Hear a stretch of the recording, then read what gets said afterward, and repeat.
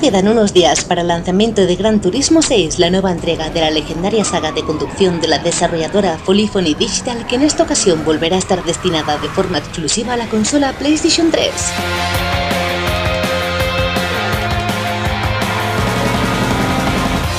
Nuevamente estamos ante un título muy cuidado y sobre todo con unas cifras impresionantes en lo que al número de vehículos se refiere, habiendo confirmados nada menos que alrededor de 1.200 coches reales de marcas como BMW, Lotus, Ford, Alfa Romeo, Chevrolet, Lamborghini o Ferrari por citar solo algunas, sin olvidarnos que tras el lanzamiento del juego se irán lanzando más vehículos como contenido descargable que harán aumentar más la cantidad de automóviles que podremos conducir.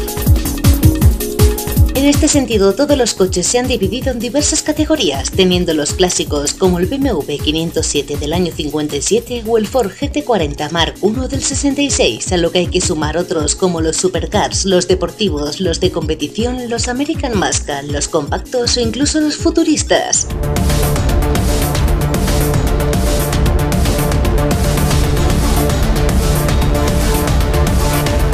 Por su parte, la variedad de los circuitos no se quedará atrás, aumentándose la cifra del anterior Gran Turismo 5 y más concretamente nos encontraremos con unos 100 recorridos diferentes repartidos en 37 localizaciones como por ejemplo el circuito de Silverstone en Inglaterra o el circuito malagueño de Ascari en España. Todos ellos estarán disponibles desde el inicio del juego, aunque por supuesto también en este caso se irán añadiendo de forma periódica más pistas a través de las correspondientes actualizaciones. Por si ello no fuera suficiente, dispondremos de un creador de circuitos con el que crear nuestros propios trazados.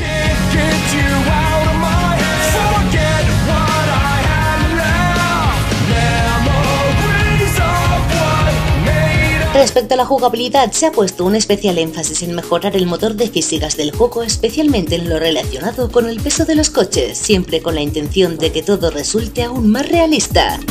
Se ha trabajado también en nuevos esquemas de suspensión y de comportamiento de los neumáticos dándole un mejor tratamiento a la aerodinámica.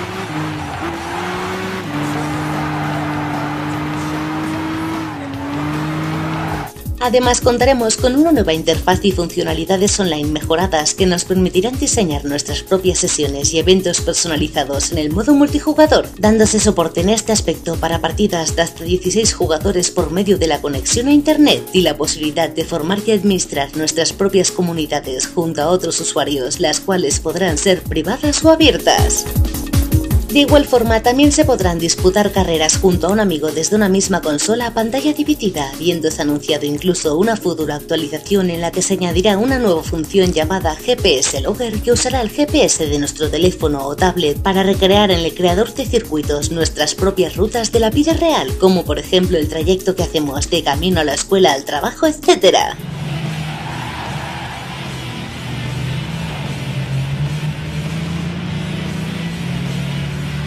En cuanto al apartado técnico, el título promete llevar hasta su límite máximo el hardware de PlayStation 3, volviendo a poner de manifiesto la fase que siempre acompaña a esta saga de Real Driving Simulator. Es mencionable tanto el fantástico modelado de los vehículos, los cuales sonarán y se comportarán exactamente igual que sus equivalentes reales, así como el sensacional diseño fotorrealista de los circuitos abarcando estos una gran variedad de entornos.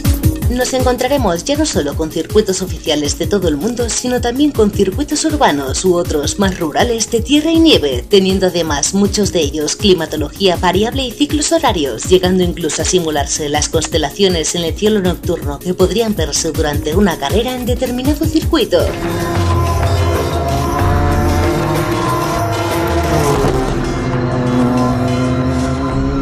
Además, todo ello se mostrará a una resolución de 1080p y 60 imágenes por segundo, si bien está por ver si el juego nos llegará a sorprender tanto como en otras ocasiones teniendo en cuenta la fuerte rivalidad con otros títulos de conducción que ya han empezado a dar el salto a las consolas de nueva generación.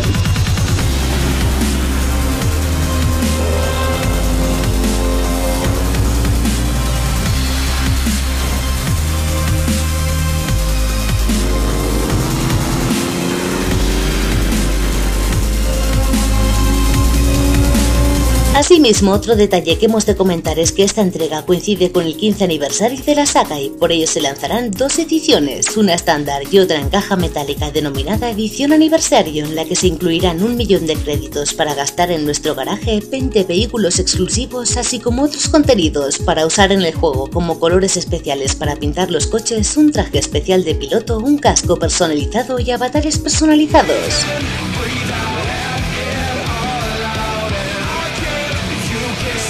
Sin duda, Gran Turismo 6 será la entrega de la saga más completa y con más calidad vista hasta ahora y para disfrutar con él no habrá que esperar demasiado estando previsto su lanzamiento para este próximo 6 de diciembre en exclusiva para PlayStation 3, siendo con casi toda seguridad el último juego de la serie que veremos en esta consola antes de que haga su debut en PlayStation 4.